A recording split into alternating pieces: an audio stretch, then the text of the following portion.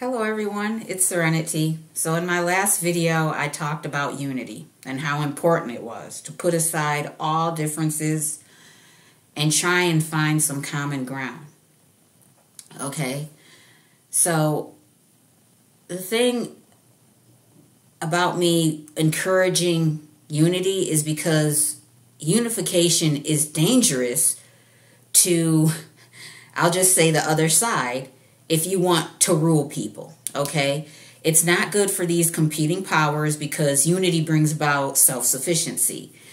Now, basically, what humanity should be doing is working for each other instead of against each other or for these low vibrational energies, okay? So, what do I mean by work with each other? Well, this is exactly what happened actually in Genesis chapter 11 with Nimrod, the Tower of Babel. Yep. Yep. Instead of working against each other or for these low vibrational energies, they started working for each other. Okay? Like cooperation, basically. Now, before y'all say, no, no, this can't just hang on, okay? so I'm going to read Genesis chapter 11.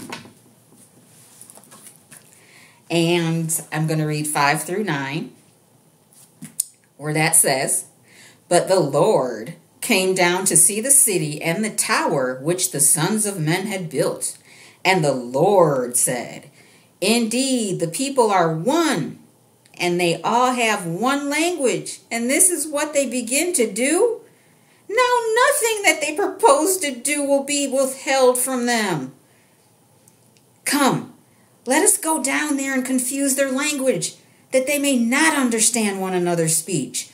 So the Lord scattered them abroad from there over the face of all the earth, and they ceased building the city.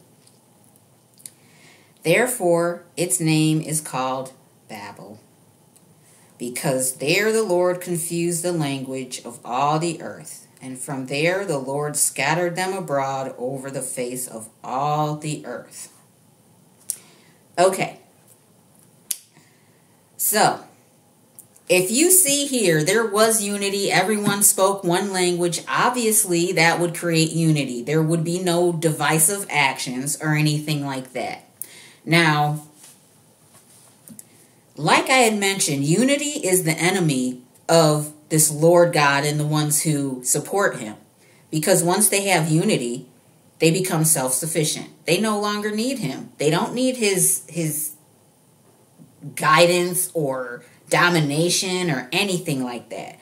And the other thing was is just like all these other structures that have been found on the planet, that are still standing. Some have been buried and whatnot. Um, basically, they were creating a tower which just wasn't a structure, it actually had a purpose to basically, how do I put this? Act as a way for these ones to connect to intelligent life other dimensions, that type of thing. Okay, so it wasn't just a structure. If it was just a structure, then this Lord would not have had any issue with it. Okay? because this structure, remember, is it physically possible for a tower whose top is in the heavens? No. But you could reach the heavens through basically electromagnetic means to reach, as I said, other dimensions. Okay. so this is why this Lord did not want this happening. He needed to confuse humans in order to break this unity up so they never knew that there was a higher power, that he wasn't God or the Lord or, you know, who he's claiming to be. So he had to put a stop to that.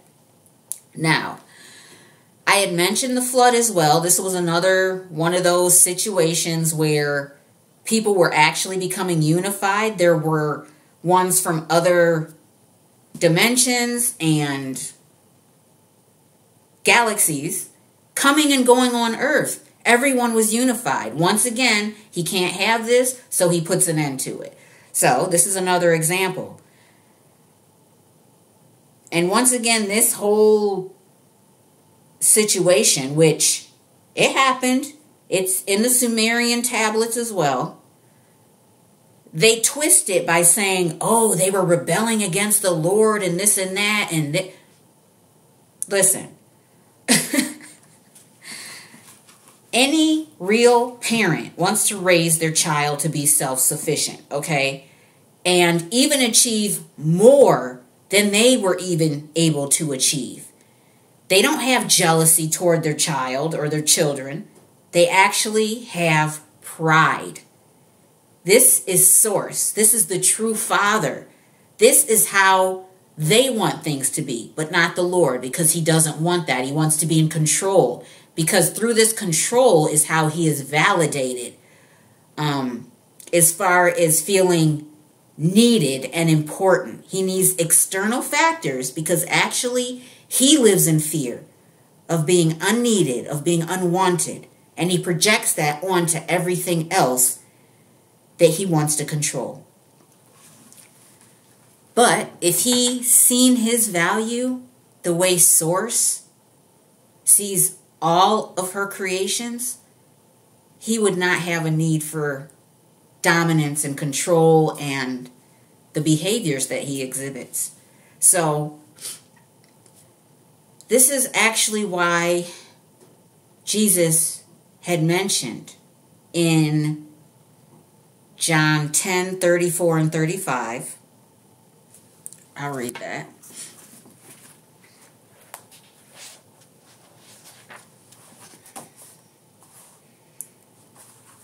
where it says, Jesus answered them, Is it not written in your law, I said, You are gods?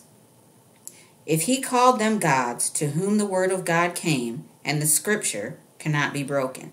So here, Jesus refers to people as gods because, as I said, this genetic, basically hybridization that was introduced to the human race that needed to progressively take effect made humanity light beings, children of source. Okay, that's why he could refer to them as gods. It is lowercase gods, but gods nonetheless, because they could co create and they could also make their thoughts become reality, just like source and all of those that come from source. Okay, now in John 14 and verse 12.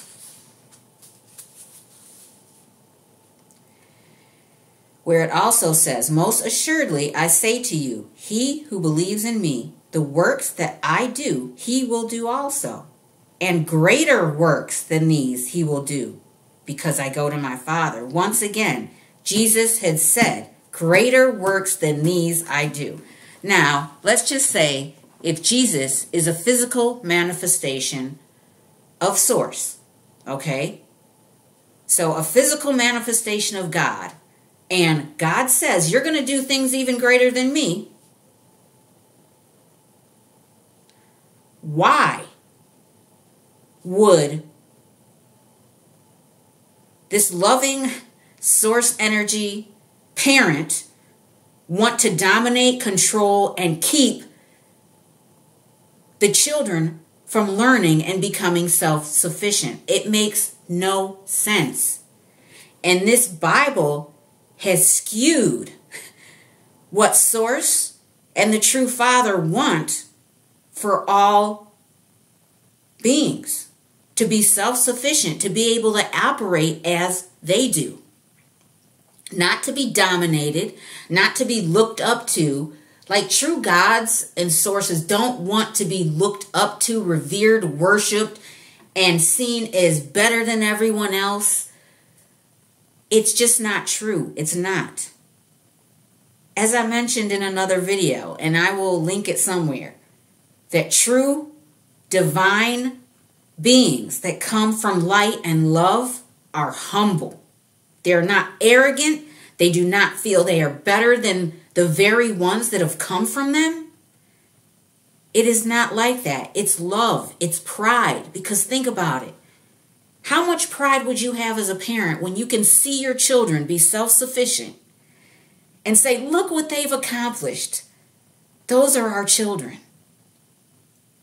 That is source, not this energy who has proclaimed himself as the true and the only God that has gotten many people to worship him and actually used the true